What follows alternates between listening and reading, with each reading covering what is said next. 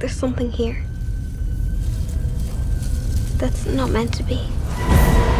This demon was once an angel. Rejected by God. You send that thing back to hell.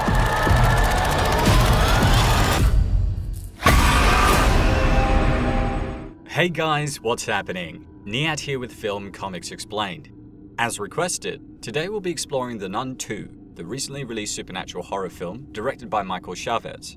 Functioning as a sequel to 2018's The Nun, and essentially the eighth entry to the Conjuring universe created by James Wan, the film stars Taissa Farmiga, Jonas Bloquet, Bonnie Aarons, Anna Popplewell, Storm Reid, and Katelyn Rose Downey, in the enticing sequel to the gothic tale of unimaginable horrors, we're whisked away to a quaint French town in 1956, which is plagued not by the latest fashion trends, but a sinister evil. When reports buzz about a priest and other holy people meeting an untimely and rather gruesome end, enter Sister Irene, who dives headfirst into this ecclesiastical whodunit. As the pieces start falling into place, who should be the culprit but the malevolent force known as Valak that had already tormented her in the past? With the demon threatening to destroy her friends and the lives of many that depended on the church, Irene must effectively confront her past with the help of her comrades to defeat one of the most insidious forms of evil out there. In this video, we're going to run through the entire Nun timeline with a breakdown of the first film and its characters before turning our attention to the sequel.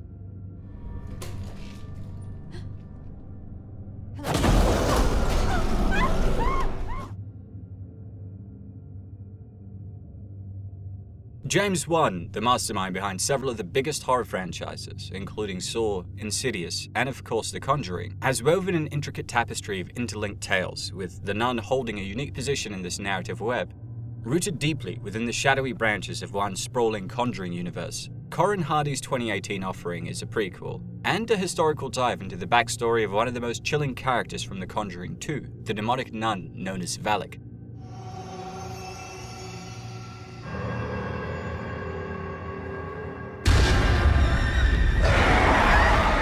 The film ominously opens in 1952 at the Cadar Monastery in Romania.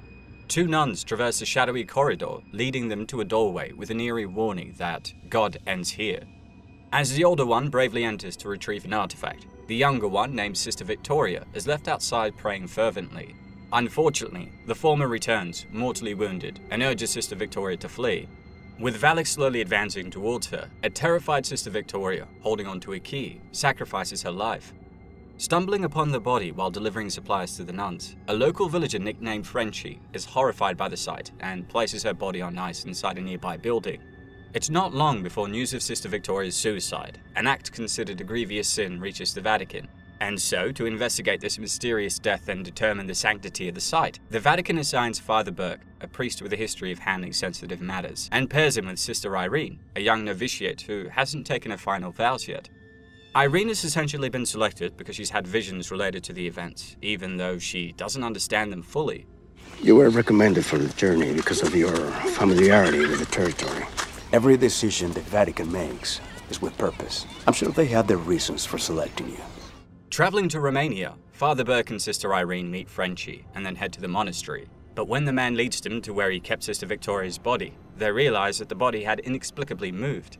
The mystery deepens further as Father Burke discovers the key that we saw clenched in Sister Victoria's hand. Father, what is it? Seems to be a key of some kind. From the get go, the priest is portrayed as a seasoned, albeit haunted priest due to a past exorcism gone wrong. He's methodical and takes his duty seriously. Sister Irene, on the other hand, is spirited and curious, with their visions playing a critical role in the narrative, and there's a clear mentor mentee dynamic developing between them. Frenchie provides some comic relief, but he's also pivotal to the plot. His interactions with Irene and Father Burke are tinged with mild flirtations and skepticism about the supernatural, respectively. The monastery, with its Gothic architecture and fog shrouded backdrop, becomes a character in itself, adding to the overall tension. And as Father Burke's sister Irene and Frenchie approach the abbey, the nuns inside, particularly the abbess, are not entirely welcoming. The Mother Superior informs them that the nuns are currently engaging in a vow of silence for Sister Victoria, as a result, the group cannot enter the Abbey until the next day. Come back tomorrow and you will find the answers you seek. Despite the urgency of their mission, Left without a choice in the matter, the delay forces them to spend the night at the nearby convent. But as night falls, each character encounters their own share of supernatural experiences. Frenchie, departing from the duo, passes by a darkened forest and is startled by an apparition resembling the deceased sister Victoria.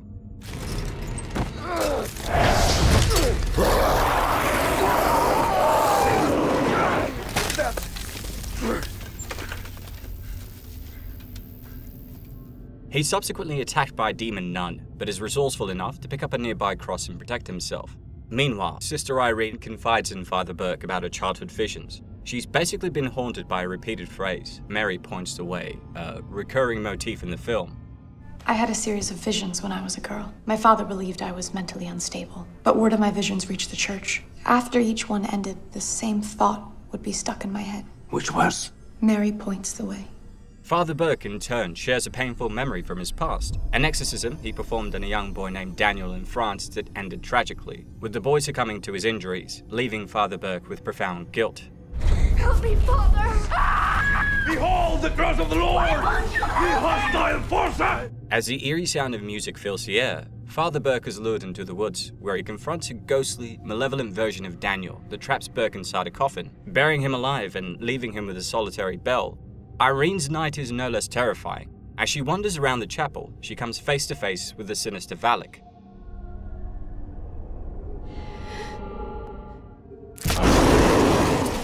The demon makes a violent attempt to harm Irene, but she's saved by the timely ringing of bells, a signal from the buried Father Burke.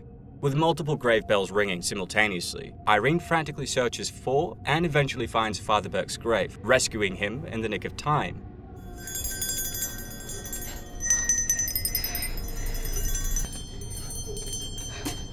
Father?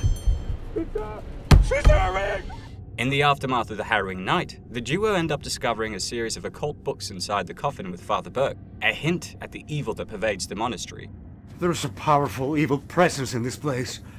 Maybe those books will help shine a light on our answer. The following day, they're finally granted entry into the abbey. While Father Burke is denied further access, Irene meets up with another nun, Sister Oana, through which Irene learns about the evil history of the abbey.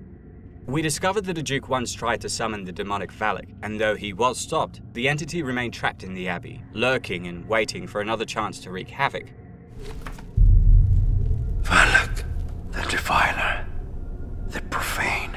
Hell used him to open a gateway so that an unspeakable evil would walk amongst us. Valak's opportunity ultimately came during World War II bombings, which inadvertently unsealed the demon, who horrifically took on the appearance of a nun. Father Burke's past trauma also soon becomes more pronounced, revealing a layer of vulnerability beneath his composed exterior. And though Sister Irene's faith in her visions are tested, she exhibits bravery and determination.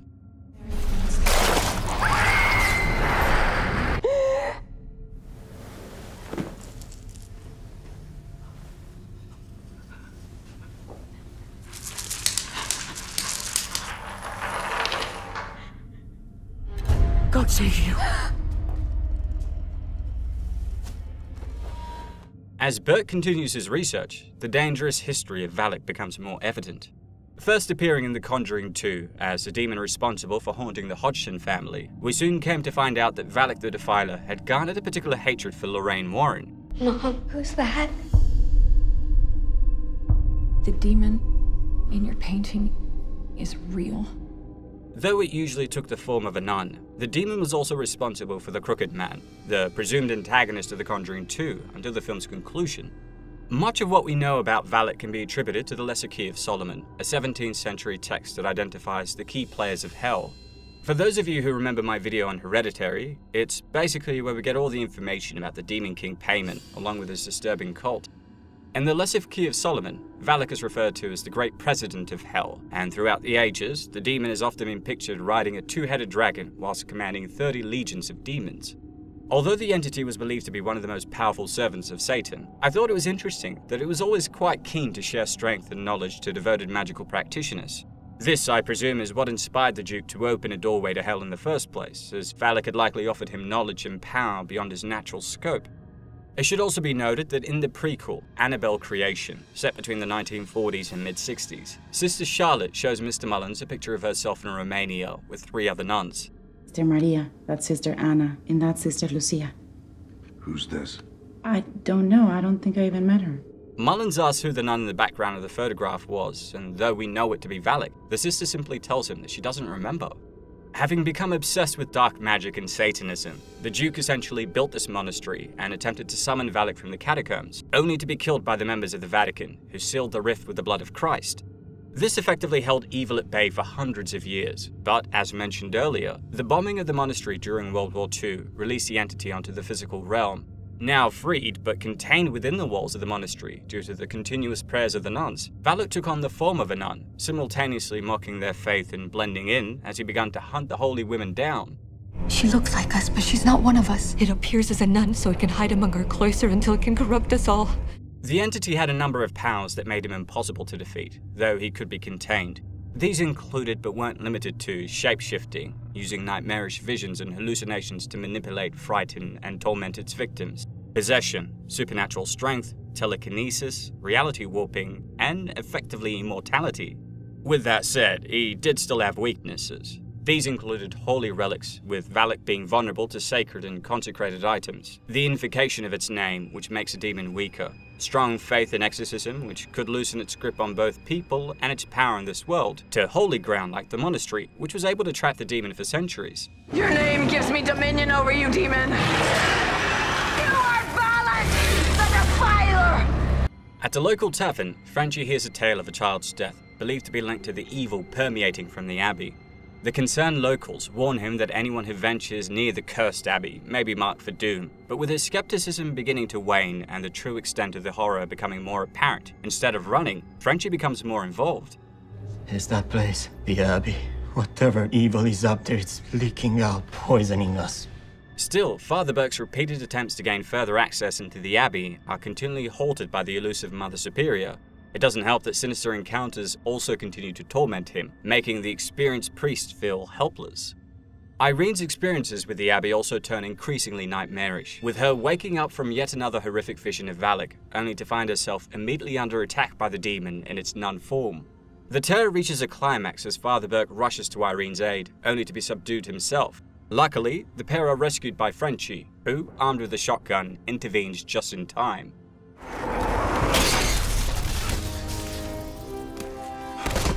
In the chapel, Irene encounters several nuns and joins them in prayer, seeking solace and strength. However, a harrowing twist reveals that these nuns are mere illusions, manifestations of the demon's manipulations. The evil at the Abbey under the control of Valak is so pervasive now that the entity can manipulate reality, bending perceptions to its will.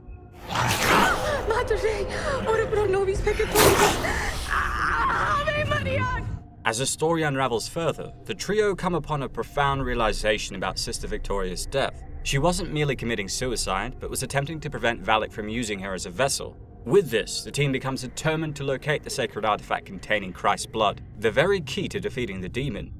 The gateway is in the catacombs, but we can't close it without the relic, the blood of Christ. Christ? Jesus Christ? Sister Irene's faith continues to be tested, but her resolve remains unbroken, further reinforcing her as the film's spiritual anchor. Burke's scholarly background and previous traumatic experiences with exorcism equip him with a unique understanding of the events unfolding, even as he grapples with his past. While Frenchie's transformation from a skeptic to believer becomes more profound as he takes on a more active job in combating the evil, his role as the outsider and cynic provides contrast, though his encounters with the supernatural do begin to shift his perspective. As a result of these experiences, their dynamic evolves, marked by mutual trust, shared purpose, and a united front against a malevolent force. And now, with a clear understanding of the evil they're up against, Sister Irene, Father Burke, and Frenchie find themselves in the catacombs beneath the Abbey. Its the setting as atmospheric as it's eerie, a labyrinth of shadows where they hope to find the key to their dilemma. Irene's earlier visions and dreams serve as a guiding light here, especially when she deciphers the clue. Mary points the way, leading them to the artifact they need. Mary points the way.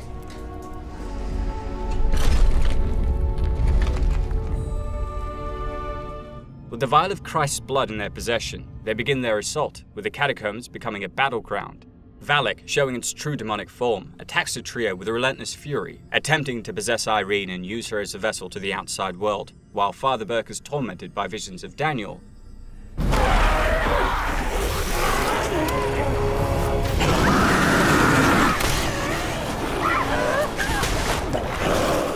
In a moment of sheer desperation, Irene smashes the vial, consuming the blood of Christ to prevent the demon from getting it, effectively turning the tables in their favor. Valak then attempts to strangle her, but Irene responds by spitting the holy blood onto the demon's face, sealing it away and temporarily ending its reign of terror once again.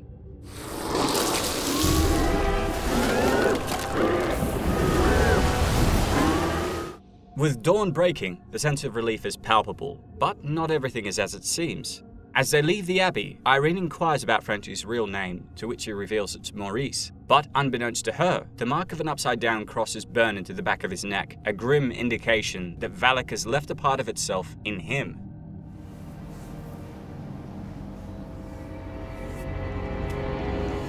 The film then ties back to the larger Conjuring universe, showcasing Ed and Lorraine presenting footage from their exorcism of a possessed Maurice in the 70s, almost two decades after this event. Spoke some of the best Latin I'd ever heard. And like that, an upside down cross started to appear from within his body.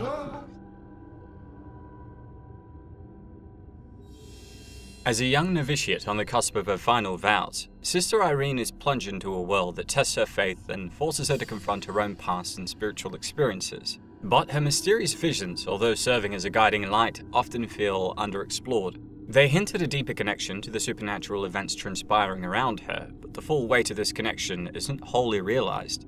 Taissa Farmiga attempts to bring depth to Sister Irene, offering moments of vulnerability interspersed with determination, and her performance lends the character more gravitas than the script did.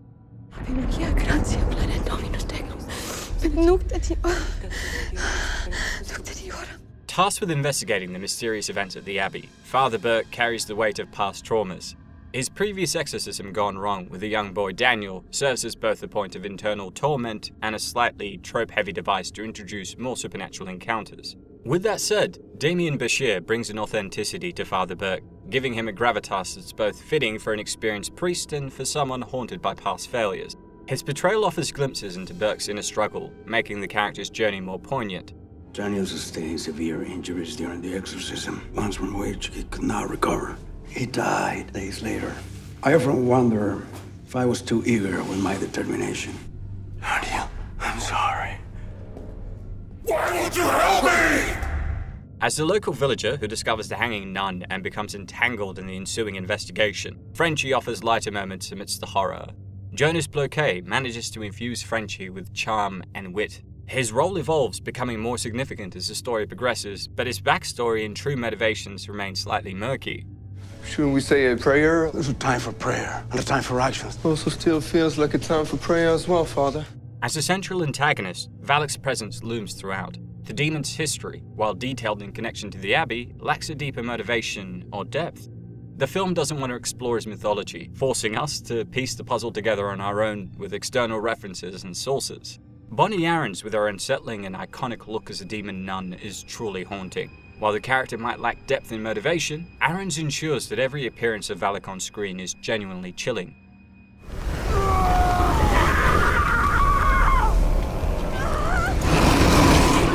The actors definitely try to breathe life and add complexity to their roles, but they're let down by a script that doesn't fully leverage their potential.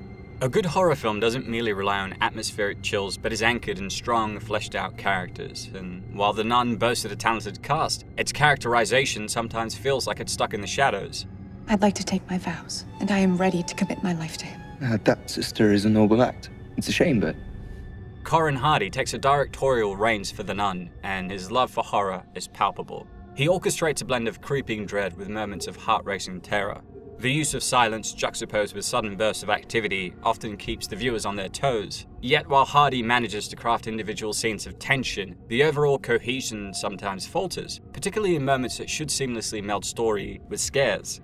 I referenced Nightmare on Elm Street, and when Robert Englund was cast as Freddy, he really made that character instantly his own, and, and I felt the same after seeing The Conjuring 2 and, and seeing this nun character. Maxime Alexandre's cinematography is, without a doubt, one of the film's standout elements.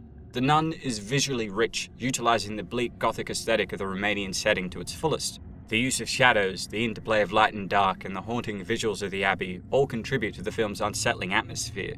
Wide shots of the sprawling, isolated landscape contrast sharply with tight, claustrophobic shots of the Abbey's cramped quarters, amplifying the sense of foreboding and confinement. The Nun movie is very classic Gothic horror because, from a Catholic standpoint, the idea of something that you hold really sacred could be perverted like that is what gives it the strength that it has. The Nun occupies a unique niche within the broader Conjuring universe, reaching back to the annals of history to weave its tale. The exploration of ancient relics, religious rites, and the age old battles between good and evil, set against the backdrop of a desolate abbey, gives the film a distinct flavour. But while these elements do create an intriguing background, the film sometimes misses opportunities to delve deeper, leaving the audience wanting a more immersive experience in this dark corner of the Conjuring world.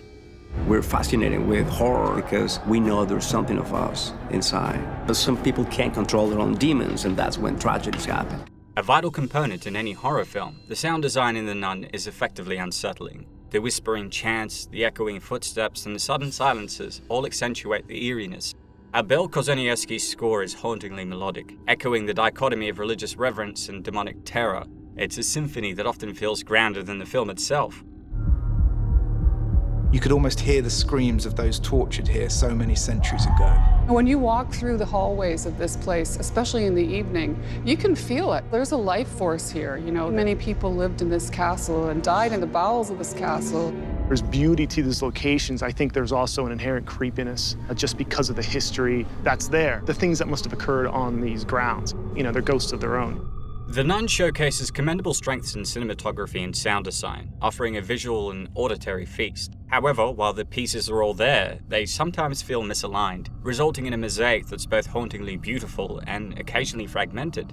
The dialogue often ranges from contemplative to the expository, feeling like it's explaining more than showing. This hampers the pacing, with the tension built by the atmosphere occasionally deflated by long-winded explanations or missed opportunities for character interactions. And while the film has its genuinely suspenseful moments, it could have benefited from a tighter, more focused narrative. The cast, especially Aarons as Valak, will linger in the memories of viewers, but one can't help but wish for a more polished gem.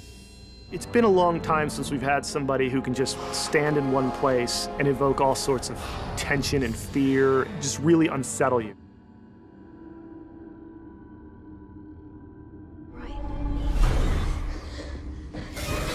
What did you see?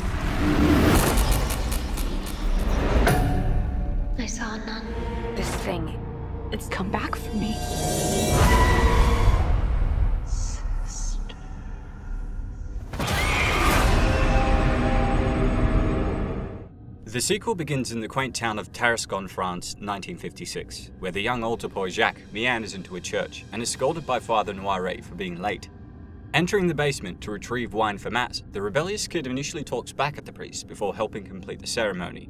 Cleaning up and staring at a portrait of a woman with no eyes, he returns the casket to the basement and is then haunted by an apparition Running to the priest for comfort, he's horrified to see the holy water evaporate in front of them. And when the holy man warns the entity that it was in the house of God, in response, it forces him to become an unwilling aerialist, lifting him up and setting him alight.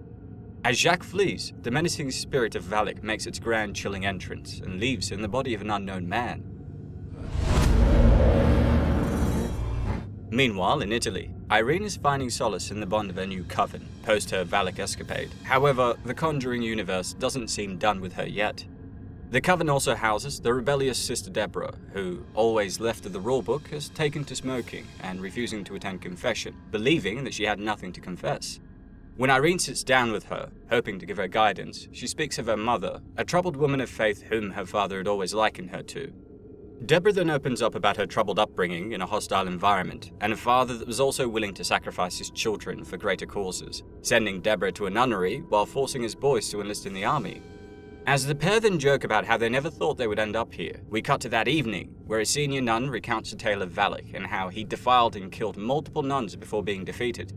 Interestingly, with Irene overhearing the conversation, it becomes apparent that the Mother Superior doesn't seem to know that it was her that contained him. In fact, she even speculates that the nun that confronted him went mad and was locked inside an asylum, indicating the church had effectively buried the truth. There's something wrong with the school. Something doesn't feel right. Back over in France, we find Maurice navigating the boarding school maze as the caretaker of a local all-girls college. Taking a liking to one of its teachers, the sprightly Kate, and her daughter Sophie, an outcast that is bullied by the other girls, Maurice has done his best to move on from the horrific experience of the previous film. Sophie, the school's underdog, often finds a night in Maurice against her pint-sized tormentors, with the caretaker trying to teach them all to treat each other with respect. But spending their spare time releasing cockroaches in the office of their teachers, the bullies have a lot to learn about discipline. Overseeing the institution is the formidable Madame Laurent, who, through her stern exterior, conceals painful grief for her late son Cedric, an altar boy that was killed in bombings that destroyed part of the old chapel. There was a cockroach in my quarters again. Ah, that's unfortunate. It's an infestation. It's disgusting. I'll tend to it right away. Just when we'd forgotten about the sordid beginning with the demon, in a nearby town, a simple delivery job for a child turns nightmarish. Entering the home of her next run to drop supplies, the girl stumbles into a room with Maurice having some sort of supernatural fit. Unfortunately, after asking if he was okay, Valak appears and levitates the kid in a cold, vice-like grip before breaking her neck. Immediately alerted to this in a nocturnal soiree with the subconscious, Irene finds herself chasing a rather demonic looking Maurice down a cryptic alley with his possessed aura pleading for her help. Almost as if on cue, upon waking, the imminent Cardinal Conroy and his ecclesiastical entourage beckon Irene, informing her about some disquieting news. Not only did Father Noiret perish, but so did many other of his holy colleagues, who died under suspicious and sacrilegious circumstances, with all signs pointing that it's moving west from Romania, to make matters worse, Father Burke, her main religious ally in the defeat of Valak in the previous film, is now dead from cholera. Despite her refusal to go, explaining that they didn't know what she went through, the Cardinal insists that the church needs her to perform another miracle. Sister Irene, you performed a miracle. The church needs another. As Irene travels to France via train, who should then enter her carriage but Deborah, who explains her mother was murdered in a fire, hence her frayed faith. But determined to help someone she looked up to, Deborah maintains that she will stay with Irene until her mission is complete. Back at the school, Sophie gets a seemingly genuine olive branch from her erstwhile tormentors who lure her to the school's secluded chapel. They then challenge her to lock eyes with a goat mosaic, which, when hit by sunlight, reveals a red glowing orb the caveat, breaking the gaze, would supposedly summon the devil. In a predictable twist, the mean girls cage Sophie, who then gets an unsettling glimpse of Valak before being rescued by Maurice, who frees her and gives a stern reprimand to the mischievous lot that betrayed her. When Sophie cries, sensing that there was an evil presence on the grounds, Maurice lovingly tells her not to be afraid. He also hints at how fear had once caused him to do unimaginable things, while the implication here for the girl is that fear had challenged him to gain courage, there's a more sinister truth to his words, yet to be uncovered. Meanwhile, Irene and Deborah arrive in Tarascon to extract intel from Jacques about the grisly incident with his priest.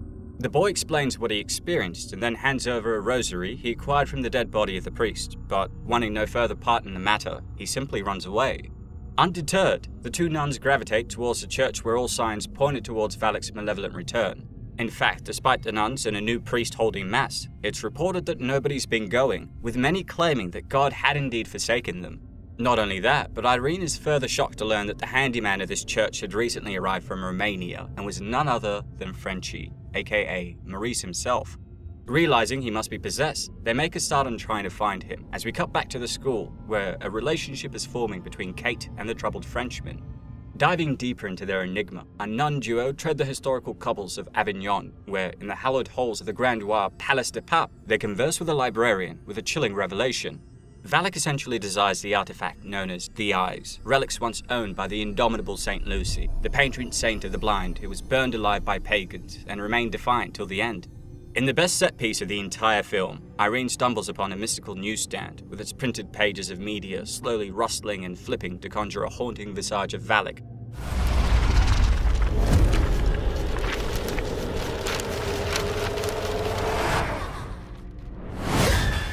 She also sees glimpses of the tragic demise of St. Lucy all those years ago before being rescued by Deborah Back at the academic fortress, Sophie actually lays eyes on the caretaker, temporarily staring into space as if possessed. Concurrently, after also finding Maurice in a catatonic state outside the chapel a few hours later, and then hearing the sound of her son calling from inside, Madame Laurent enters and is greeted by a mirage of her lost Cedric, moments before Valak the puppeteer ensnares and dispatches her.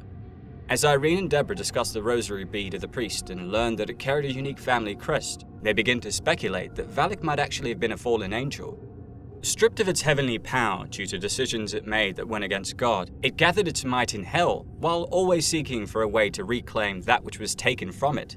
Although in the hands of the demon, the eyes of Lucy would wreak destruction on the world, in more benevolent hands, it could be used to effectively send Valak to hell once and for all. With that, they realize that every religious victim of Valak is in fact actually a descendant of Lucy, hunted for information on where their ancestors' heavenly eyes were buried.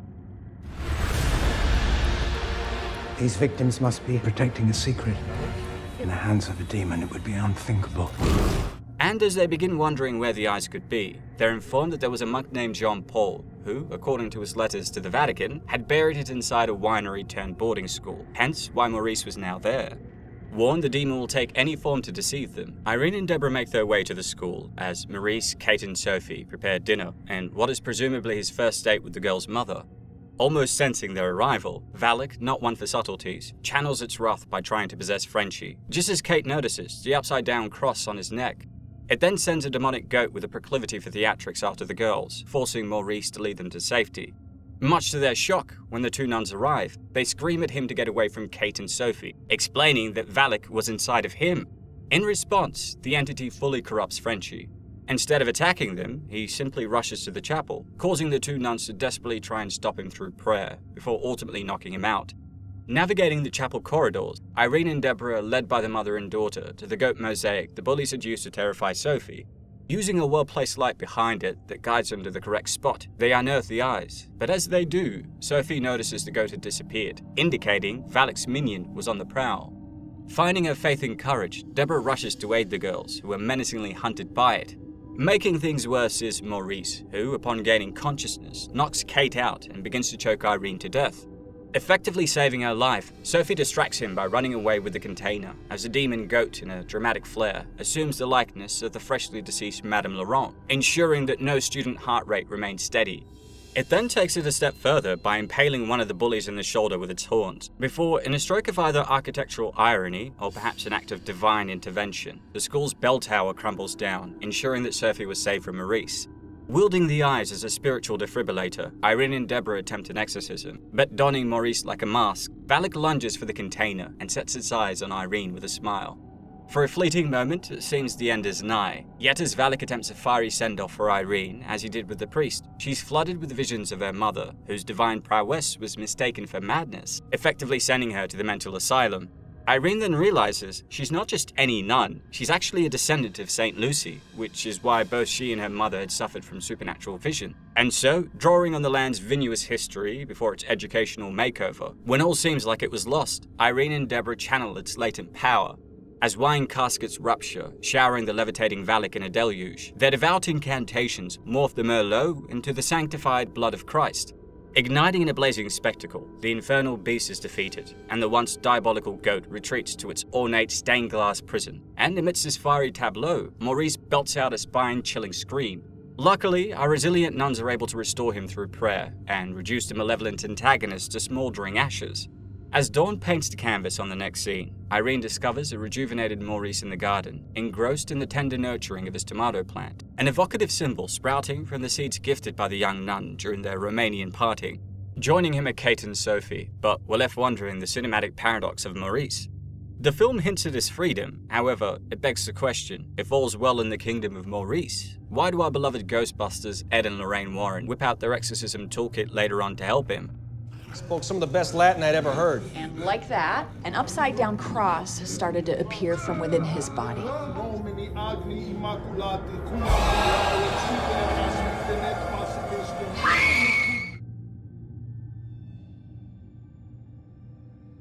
We've created this universe that has such a huge fan base.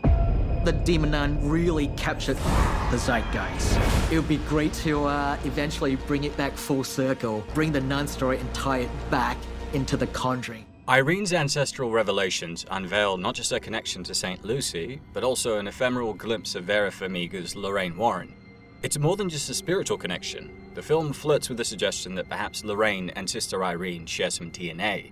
With this, Valak's dogged pursuit of St. Lucy's descendants would take on a whole new shade of malevolence, but I just wish they did a better job of connecting all the dots. Taissa Farmiga, with her magnetic screen presence, offers a deeply sincere portrayal of Sister Irene, delicate yet resolute, with a welcome wit and an almost ecumenical outlook, When we first meet Irene in this movie, she has a much stronger aura of confidence around her. You know, she's still just as kind and sweet as she was in the first movie, but she's lost her naivety. Supporting Thais' Irene is the more circumspect Sister Deborah, played by Storm Reid, whose initial quest for a divine spectacle soon morphs into a much more perilous undertaking. We understand why she was initially hesitant to commit to the church, and see her gain her faith through efforts to support her good friend and mentor, Jonas Bloquet does a decent enough job as a troubled caretaker, whose good nature and spirit are corrupted by a malevolent force. He's a very sympathetic character that espouses good virtues to the kids under his charge, and simply wants to find peace, something Valak won't allow. It's all the more tragic when we realize that Frenchie is still plagued by darkness after this chapter. Katelyn Rose Downey is great as the outcast student, bullied for being the daughter of a teacher, yet having the resolve to deal with it in silence and keep it from her mother. And while Anna Popplewell is okay as her mother, she's severely underutilized by the script. We don't really learn much about Kate, and all of her scenes feature her shuffling out to meet either Maurice or her daughter in the same hallway until the climax.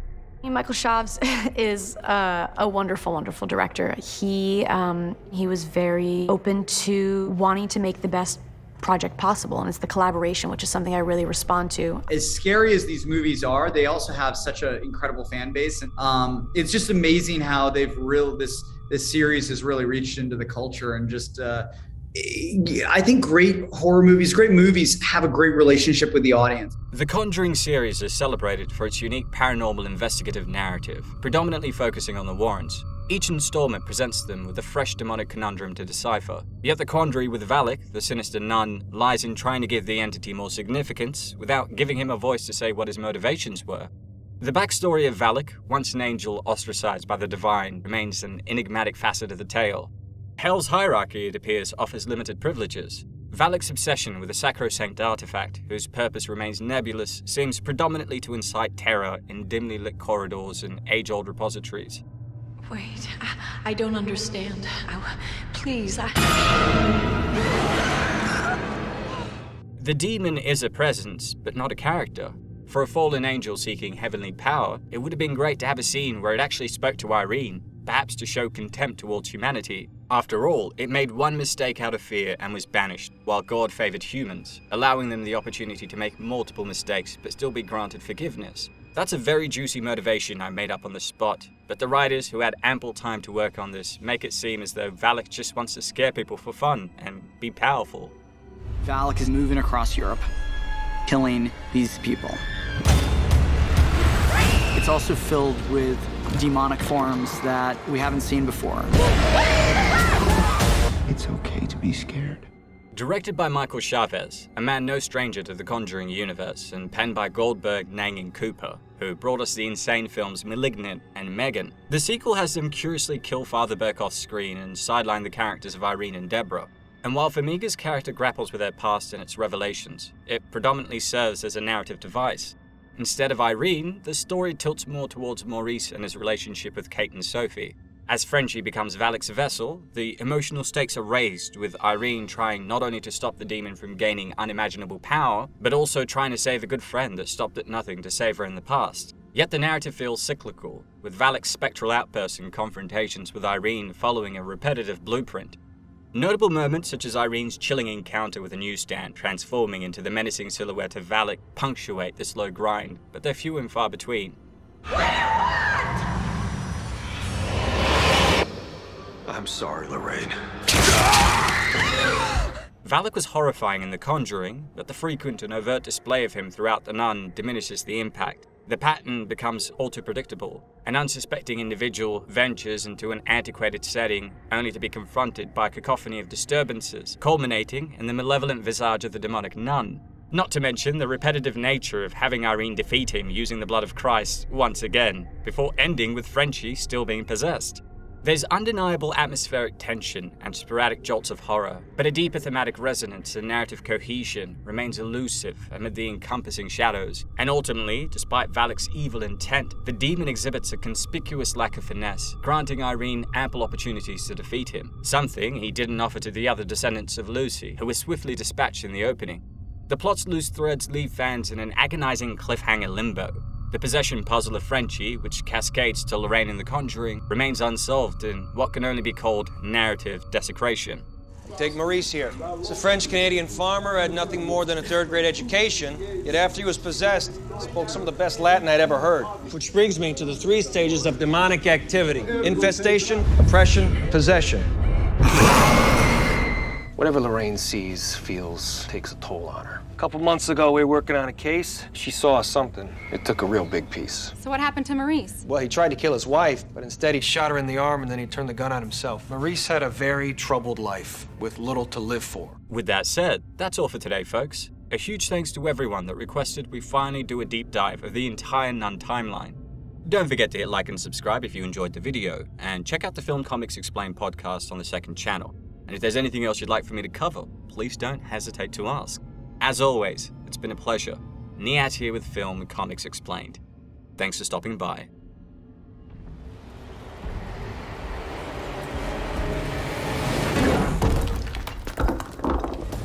What we're going after. It's unlike anything you've ever seen. What's she doing? She's standing.